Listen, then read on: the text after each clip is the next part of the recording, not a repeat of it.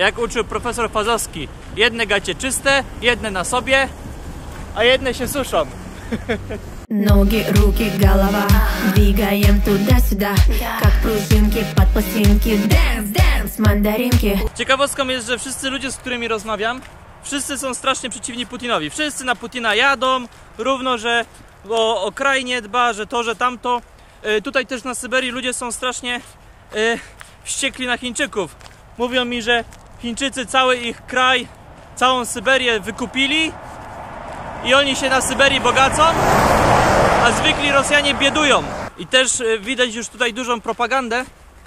Jak się rozmawia z ludźmi, o czym oni w ogóle dyskutują, to tutaj im dalej na wschód, tym ludzie coraz chętniej o polityce chcą gadać i coraz częściej o, o Ukrainę zagadują.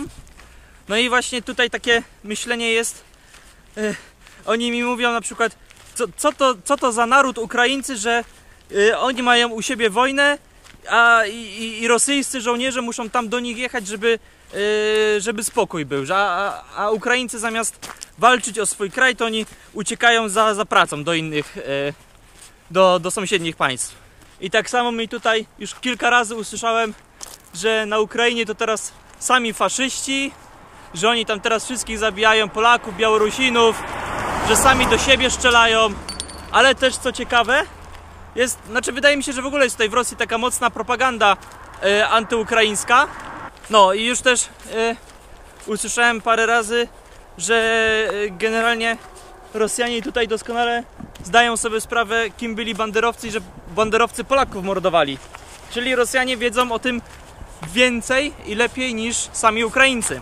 Jedyne co mnie zastanawia, to czy oni w ogóle zdają sobie sprawę z tego, że u nich w telewizji jest dość.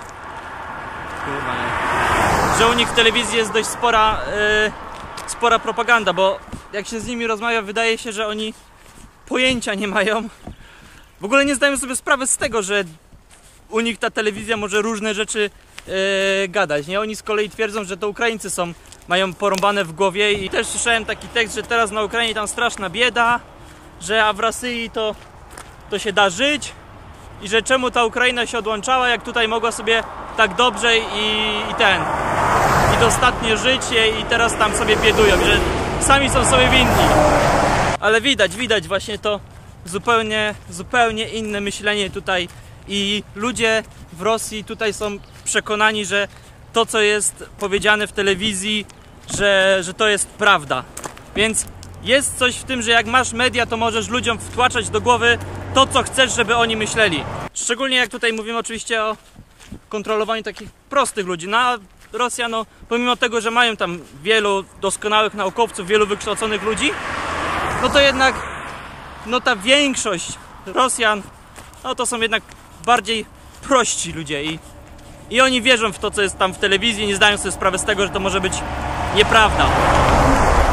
Albo że może być to jakaś tam nagięta prawda, nie? Jak będziecie kiedyś chcieli jechać na Sybir, to pamiętajcie o jednej rzeczy, że na Syberii jest zajebiście dużo komarów. I rozbijanie się w lesie oznacza, że albo będziecie pożarci tak jak ja, albo musicie mieć straszliwie mocny ten przeciw komarom. Ja też mam, ale i tak mnie pożarły. Mam nadzieję, że kamera nie obejmuje tutaj tej części, bo tu sobie zrobiłem taką lekką suszarnię i mi się skarpetki suszą i gacie. Bo sobie poprałem je dzisiaj troszkę. Zobaczymy jakie piwko. Piwko Tri Miedwiedzie.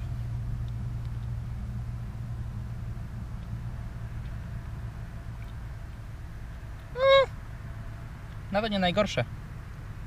Jeszcze jedna rzecz, jak się jedzie na Syberię, o której też warto pamiętać, to że w lasach jest, mam jeszcze power, doskonale, e, że w lasach jest dużo niedźwiedzi i wilków. I to nie są jakieś tam e, ściemnianie, tylko generalnie Rosjanie mi mówili, że tutaj naprawdę trzeba uważać, bo są niedźwiedzie i wilki. Dlatego ja rozbiłem się prawie że przy drodze i nie wchodziłem nigdzie głębiej. Chociaż przy drodze podobno też niedźwiedzie chodzą. Niestety dzisiaj nie znalazłem żadnej rzeczki. Tam niedaleko, dosłownie tak nie wiem, z kilometr stąd, był taki gościniec. Dałem dyszkę złotych, w sensie 150 rubli i się wykąpałem. Ale powiem szczerze, że prysznic był w takim stanie i ta woda tak śmierdziała, że jak ja się teraz wącham. A nie, teraz. Teraz nie, teraz jest spoko, bo teraz śmierdzę ofem, bo się wypsikałem, bo już naprawdę nie dałem rady z tymi komarami. Kuźwa, co jestem pogryziony. Ale jestem też brudny. Spodnie mam już brudne. O kuźwa, i tu też jestem brudny. O kurde no, generalnie w tym prysznicu tak śmierdziało, że jak stamtąd wyszedłem, to miałem wrażenie, że śmierdzę bardziej niż przed umyciem się. Dumala, dumala, dumala.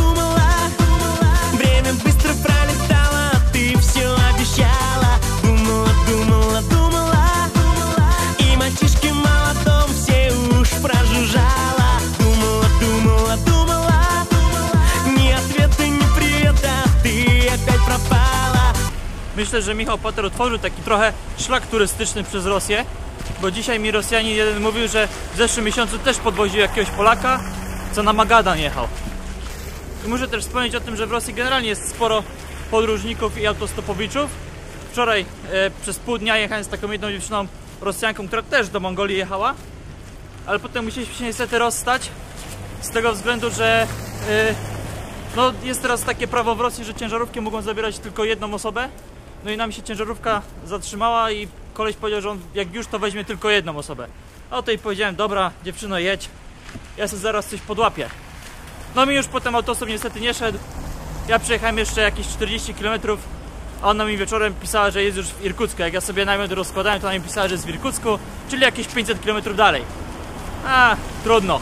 Często pamiętam, że mi ktoś coś mówił, że coś gdzieś słyszałem i wam to potem powtarzam i ja wam tego nie pokazuję. No, przyznam szczerze, nie potrafię, nie potrafię się przemyć, żeby zacząć nagrywać ludzi. Ale jeżeli ktoś odwiedza mój Instagram, to tam na Instastory wrzucałem sporo materiału, sporo zdjęć i ktoś może na przykład, e, jak ogląda ten odcinek, to może kojarzyć, że jak tam o kimś na przykład opowiadam, że a faktycznie coś takiego e, było. No, no i w ten sposób przy okazji sobie niespodziewanie zareklamowałem swoje konto na Instagramie. Rosja jest krajem, który lubi się kłócić i walczyć o swoje i mają oni bardzo dużo różnych y, sporów, które cały czas się toczą. I tak na przykład cały czas mają spór z Japonią o Wyspy Kurylskie, mają niepodpisaną umowę o granicy na Morzu Beringa ze Stanami Zjednoczonymi, wspierają dążenie niepodległościowe w Abchazji i Osetii, mają cały czas niepodpisaną umowę, e, znaczy wspierają się o granicę w, w roponośnej Arktyce z Norwegią, Danią, Stanami i Kanadą. A, no przecież e, wspierają Bashara Asada w Syrii, no i wiadomo, nie, no Ukraina. Jeszcze ciekawa sprawa, gdzieś mniej więcej tydzień przed moim wyjazdem do Rosji przez Syberię przetoczyła się potężna powódź i szczególnie właśnie tutaj w rejonie irkuckim e, bardzo duży teren był zalany. E, I teraz właśnie jestem w jednej z miejscowości, które, o których mi ludzie opowiadali, że była całkowicie pod wodą. No, jak widać, jest już powiedzmy, że w miarę sucho, ale tam jeszcze widziałem dwie ciężarówki e, wojskowe, które coś tam jakąś wodę pompowały. No i generalnie jak się jedzie przez ten rejon, to jeszcze w wielu miejscach woda stoi. Za wcześnie wypowiedziałem słowa, że jest w miarę sucho. Zaledwie kilkaset metrów dalej moim oczom ukazał się ogrom zniszczeń. Nigdy powodzi nie doświadczyłem, nigdy też wcześniej skutków powodzi na własne oczy nie widziałem. To było coś, co znałem tylko z telewizji i nigdy wielkiej uwagi temu nie poświęcałem. Widok całkowicie zdewastowanych domów i ludzi próbujących jakoś posprzątać resztki swego dobytku jest czymś, czego nie zapomnę do końca życia. Tak, proszę Państwa, za moimi plecami Bajkał, czyli najgłębsze i najstarsze jezioro na świecie. Jezioro, które cały czas się powiększa, ponieważ płyty tektoniczne się tutaj rozchodzą, więc w ogóle rejon irkucki jest regionem aktywnym sejsmicznie, dochodzi tutaj do trzęsień ziemi. E, natomiast Bajkał jest jeziorem naprawdę gigantycznym. Jakby umieścić go na mapie Polski, to sięgałby mniej więcej od Karpacza aż do Suwałk. Tu wokół Bajkału od miejscowości takiej turystycznej Listwianka zaczyna się bardzo fajny szlak turystyczny właśnie przez las. Wzdłuż tam jest Bajkał, wzdłuż Bajkału i po drodze jest mnóstwo takich właśnie fajnych miejsc, gdzie można legalnie rozbijać namiot bez żadnych problemów. No i mój plan na dzisiaj był taki, że się właśnie tą drogą wybiorę. Ale niestety mnie straż leśna zwinęła. Okazało się, że jest zagrożenie pożarowe i las jest zamknięty i nie można iść. To jest ostatnia polanka, do której można dojść I tyle. A tam dalej są właśnie fajne punkty widokowe na Bajkał. I miałem nadzieję, że sobie właśnie na takim jednym punkcie się rozbiję i dzisiaj będę sobie cały dzień leżał i spał. A wygląda na to, że chyba zostawię tu plecak i wrócę do Listrianki i poleżę cały dzień na plaży. O, i co robią Rosjanie, żeby obejść zakaz? Włażą tam do góry, przejdą pewnie stróżówkę straży leśnej górą i zejdą za nimi i pójdą dalej. O, a tu kolejny nieszczęśnik cofnięty przez straż leśną. Hmm. Mocno się zastanawiam, czy też nie pójść tam górą. Ale jak mnie złapią, będzie kiepsko. Dobra, rozstaliśmy się z Francuzem. On sobie poszedł dalej. A ja stwierdziłem, że zostaję, bo jutro rano muszę się niestety zwijać. Im szybciej, tym lepiej na Irkuck. A, w sumie nie mówiłem chyba. No, chyba nie mówiłem. E, No, takiego Francuza spotkałem też podróżowo, też chciał iść tą samą trasą co ja. Bo on chciał dotrzeć do jakiejś wioski, która jest oddalona tam chyba o 30 km czy coś. Też go cofnęli. No i tak biedowaliśmy przez cały dzień. W końcu on poszedł brzegiem, a ja sobie zostałem. O, mam tak właśnie taki widoczek mam. I tak sobie dzisiaj spędzę.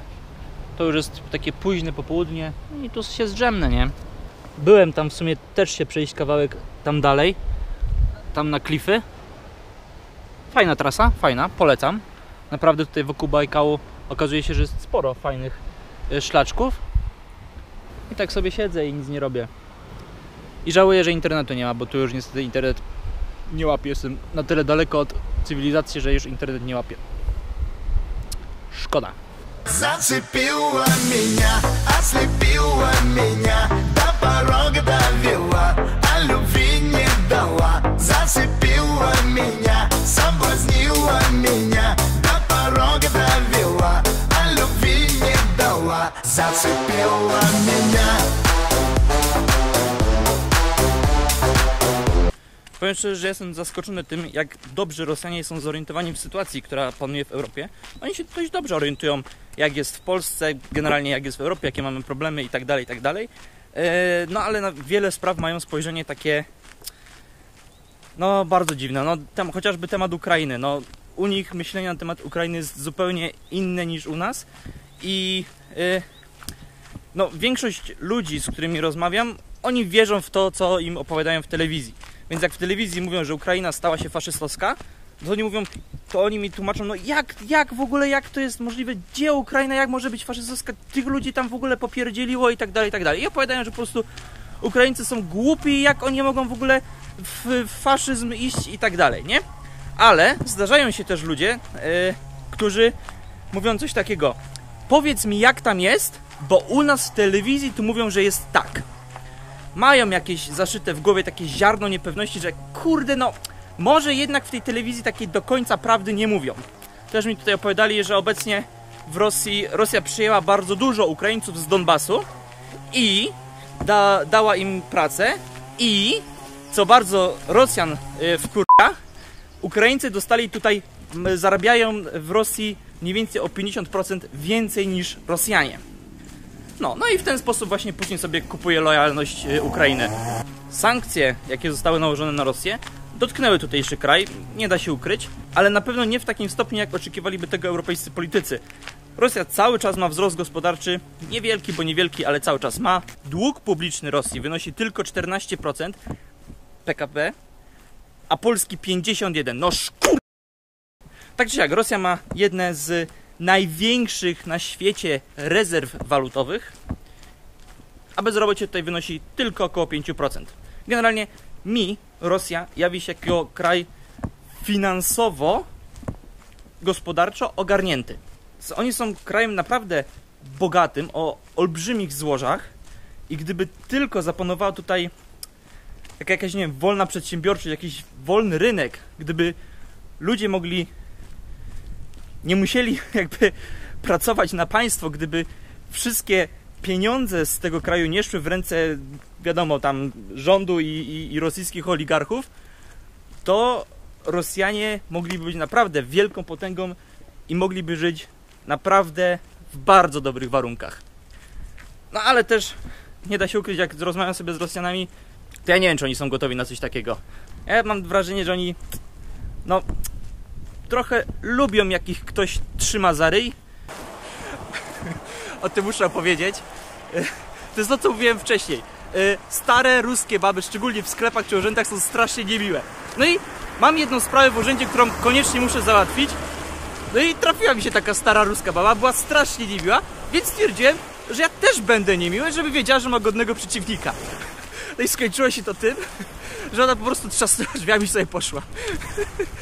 No, znaczy, to jest i śmieszne i smutne, bo ja nic nie załatwiłem, a muszę, bo się obawiam, że mogą być problemy na granicy, ale ja pierdzielę, no.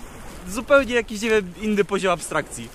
Jeśli chodzi o rosyjską religijność, to 70% wyznaje prawosławie, 10% to islam, 15% deklaruje, że nie wierzy w nic, natomiast pozostałe 5% no to jest cała reszta.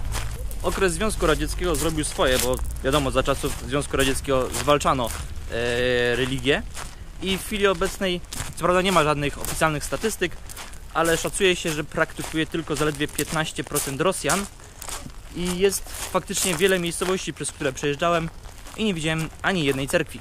Rosyjskie prawo, co ja osobiście pochwalam, e, pozwala na rozbijanie ekstremistycznych grup nawołujących do łamania prawa. Państwo ma też oczywiście mechanizm, który pozwala na konfiskatę majątku takich grup. E, oczywiście najwięcej obrywa się tutaj e, islamistom i e, łatwo się domyślić, że budzi to oburzenie i sprzeciw takich tworów jak UE i USA, które oczywiście twierdzą, że no, jest to łamanie e, swobód obywatelskich, łamanie praw człowieka. W sumie jak tak teraz myślę, to nie wiem na jaką skalę Rosja rozbija te grupy ekstremistyczne, bo no nie da się ukryć, że takie prawo zachęca do nadużyć. No, więc może jednak nie do końca pochwalam.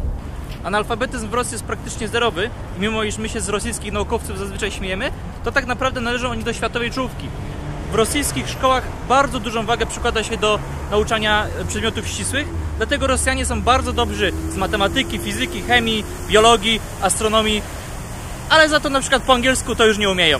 Нам отдохнуть нельзя, бегом, бегом, бегом А наши якобы друзья засели за бугром И смотрят, как нас бьют, не отрывая глаз И только длинные дороги полностью за нас Вытри слезы, отдохни немного Я русская дорога Ponieważ mój czas w Rosji powoli dobiega końca, to nie mogę nie wspomnieć o symbolu tego kraju, czyli o wódce. Ku mojemu wielkiemu rozczarowaniu nikt mnie wódką tutaj nie poczęstował.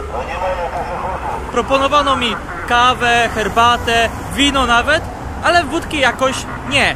A specjalnie trenowałem przed wyjazdem, żeby nie przynieść wstydu ojczyźnie, no ale nie miałem okazji zaprezentować swoich umiejętności. Zgodnie z tradycją rosyjską, wódka jest to napój przezroczysty, bez zapachu i bez smaku. Pochodzenie wódki ciężko jest ustalić. Najstarszy destylator pochodzi sprzed 4,5 tysiąca lat z Mezopotamii, natomiast pierwsze dokumenty opisujące produkcję wódki e, zostały spisane przez arabskich mnichów około 8-9 wieku. W Polsce przyjmuje się, że wódkę pito już w XIV wieku, ale oficjalne potwierdzenie e, tego procesu można znaleźć dopiero w wieku XVI. Natomiast w Rosji pewne dokumenty e, wskazują, że wódka była tutaj produkowana przez mnicha Izydora właśnie już w XIV wieku. W Rosji aż do XX wieku wódkę nazywano winem chlebowym. Była ona produkowana z pszenicy, jęczmienia lub żyta i miała moc od 20 do 60%. W XV wieku ustanowiono państwowy monopol na produkcję wódki. Pojawiła się akcyza, no i państwo zaczęło robić wielki y, hajs na, y, na alkoholizmie obywateli. Dopiero pod koniec XIX wieku pojawiła się taka wódka, jaką znamy dzisiaj, czyli czysta. W 1894 Rosja opatentowała wódkę jako e, napój o mocy 40%. E, Standard ten wynikał tylko i wyłącznie z chęci uproszczenia e, procedury naliczania podatków. No, no i rozcieńczanie wódki było surowo karane.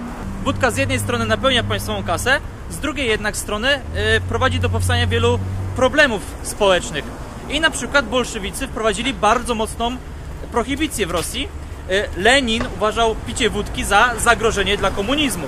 Natomiast dla Rosjan wódka jest niezwykle ważna i chociażby w trakcie II wojny światowej żołnierze dostawali dzienną porcję w postaci e, setki. Od czasu bolszewików wszystkie kolejne rządy próbują ograniczyć spożycie wódki poprzez podnoszenie akcyzy, wprowadzanie jakichś tam zakazów sprzedaży w nocy, e, jakieś tam kampanie informacyjne itd. itd. Cóż, e, spożycie wódki nie maleje, rośnie za to produkcja najczęściej dość wątpliwej jakości samogonów. Wódkę w Rosji zawsze pije się czystą, bez żadnych drinków, bez żadnych dodatków. Za to zawsze się przy okazji ucztuje. Tak więc pijąc wódkę w e, Rosji nigdy nie popijamy, za to zawsze zagryzamy. No nic, no mój czas w Rosji powoli dobiega końca. Jutro lecę dalej. Rosja turystycznie no nie jest jakoś super ciekawa, nie? Wszystkie miasta wyglądają tak samo. Za największe atrakcje uważa się po prostu Park Pobiedy albo pomnik Lenina. I tyle. Rosyjskim miastom brakuje jakiegoś takiego urozmaicenia, jakiegoś takiego kolorytu. Wszystko wszędzie jest takie same. Na przykład wszystkie sklepy nazywają się po prostu sklep. Nie ma jakiegoś, nie wiem, udanusi czy, e, czy coś w tym stylu. Co jest za tym największą wartością e, w Rosji? Ludzie. Są naprawdę niesamowicie sympatyczni, mili, otwarci, gościnni. Z wyjątkiem oczywiście starych ruskich bab. No i teraz pytanie, ile mi to wszystko kosztowało. Więc nie licząc Moskwy, wizy, samolotu i pociągu, przez dwa tygodnie w Rosji wydałem jakieś 350 zł.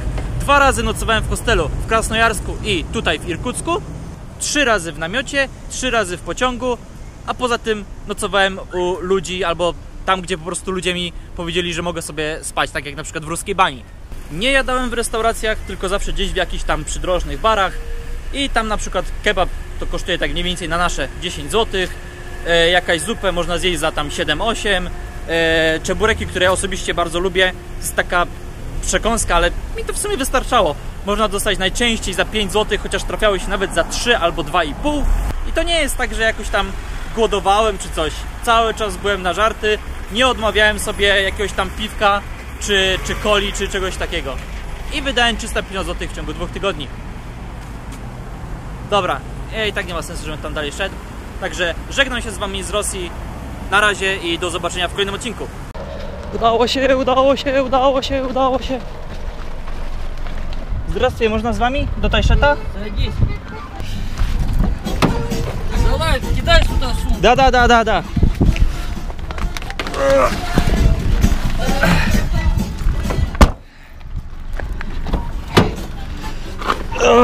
Спасибо большое. А? Откуда? Я с Польши. Ты же мама с хулиганами, в юбочке коротенькой.